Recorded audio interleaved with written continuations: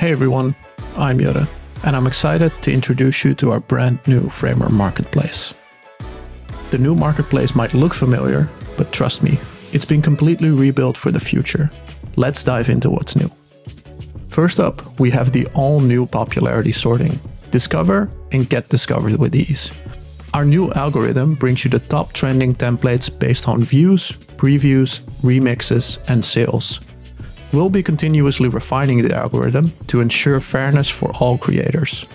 You can also use our enhanced filter options such as most remix templates, recently added, or only view paid and free templates to find exactly what you're looking for. Next, we've introduced dedicated profile pages for every creator.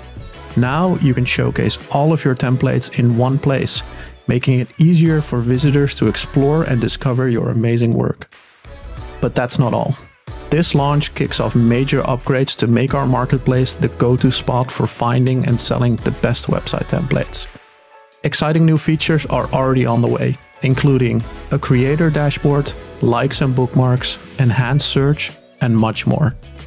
And with Framer plugins coming later this year, we're excited to see the Framer marketplace become so much more than just templates. We'd love to hear your thoughts.